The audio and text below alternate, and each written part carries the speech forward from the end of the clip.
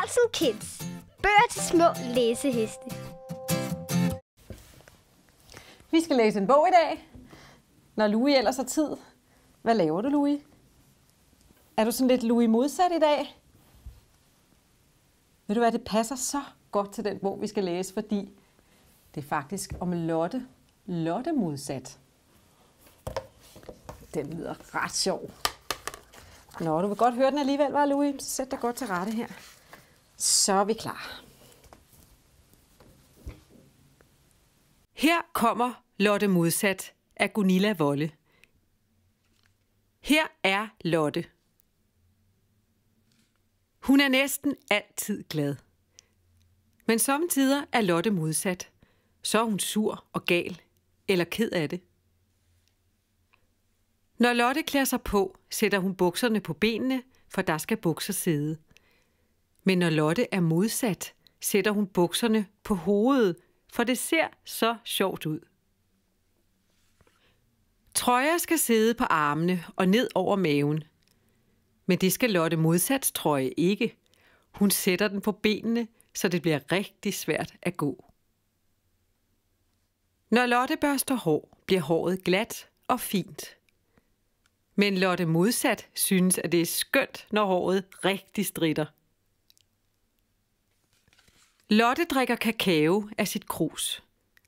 Men når Lotte er modsat, spiser hun kakao med ske fra en tallerken. Hvis klodserne vil stå, som Lotte vil, er Lotte glad. Men hvis klodserne er modsat, så bliver Lotte også aldeles flindrende fløjtende modsat. Lotte synes, at lillebror er sød. Han må gerne låne hendes bamse. Når Lotte modsat synes, lillebror er dum, så må han ikke låne hendes bamse. Lotte elsker at komme i bad. Lotte modsat vil ikke i bad. Hun elsker at være rigtig godt beskidt. Det er skønt. Sommetider hører Lotte, når mor siger, at nu skal Lotte i seng. Men for det meste er Lotte modsat, så gemmer hun sig og kan slet ikke høre nogen ting. Når Lotte er træt, går hun i seng og lægger sig til at sove. Men er det nu ikke mærkeligt? I sengen bliver Lotte modsat. Så vil hun have vand, og så skal hun tisse, og så vil hun have vand igen. Men til sidst bliver Lotte modsat også træt, og så sover Lotte. Jeg kan godt forstå, at hun blev træt oven på den dag. Var Louis? Er du klar igen? Skal jeg ikke lige hjælpe dig med at få numsen helt op? Ah, yahoo! En gang til.